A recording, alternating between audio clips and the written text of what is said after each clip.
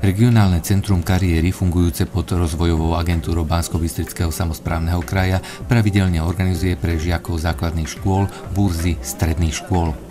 V minulých rokoch pre koronu hlavne v online priestore, no túto stredu v spolupráci s mestom ju zorganizovali naživo. Všetky stredné školy a gymnázium v okrese Žarnovica sa prišli odprezentovať do kultúrneho domu v Žarnovici. V priebehu 6 hodín stovky končiacich žiakov základných škôl z okresu prišli pozrieť a získať informácie o fungovaní, vybavení, učebných odboroch jednotlivých stredných škôl, ale aj uplatnení sa na trhu práce po vyučení.